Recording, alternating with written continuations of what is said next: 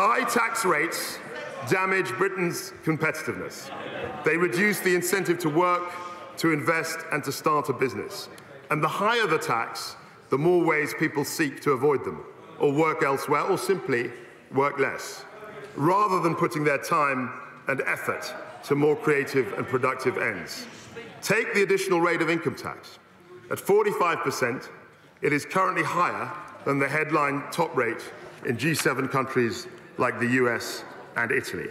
And it is even higher than social democracies like Norway.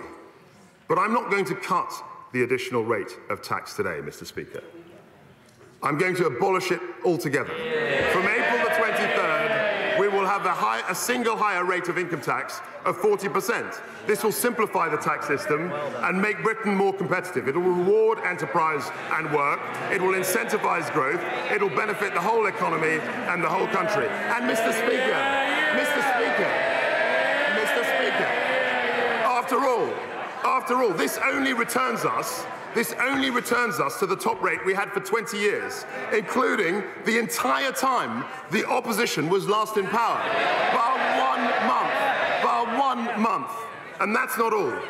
I can announce today that we will cut the basic rate of income tax to 19 pence in April 2023, one year early. A tax cut for over 31 million people in just a few months' time.